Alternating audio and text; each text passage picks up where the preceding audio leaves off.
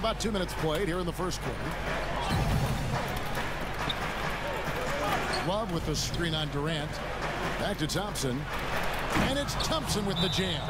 And it was the screen there, guys, that freed him up as he ran his man into it. And then it was all acceleration, GA, to the bucket right after that.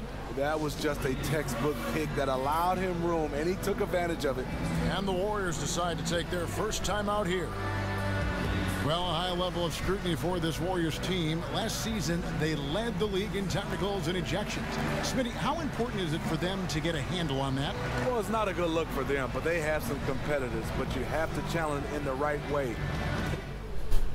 Play with poise, and they're fine when they're on the court.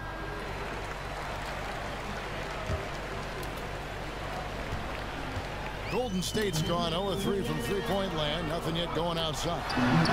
No problems knocking that one down. And boy, did they need that one. Their first make in the five field goal attempts they've had. Cavaliers have gone three of four from the field to start out the game. To the middle, and it's Thompson with the jam. That's a good look by Kevin Love. The decision making with the ball in his hands makes him different than other fours. Cousins, the pass to Green. It's stolen by Smith. Pass to Osman. The putback. He hangs in there and cashes in on the second chance points. They've wasted no time settling into their offense. And Thompson kicks to